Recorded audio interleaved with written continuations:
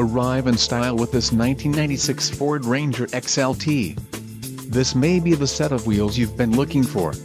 Some of the top features included with this vehicle are 3.73 axle ratio, rear-wheel drive, 2625 capacity twin I-beam front axle, 2750 capacity semi-floating rear axle, PWR steering, PWR brakes, black spoiler, aero headlights, tricolor taillights and tinted glass.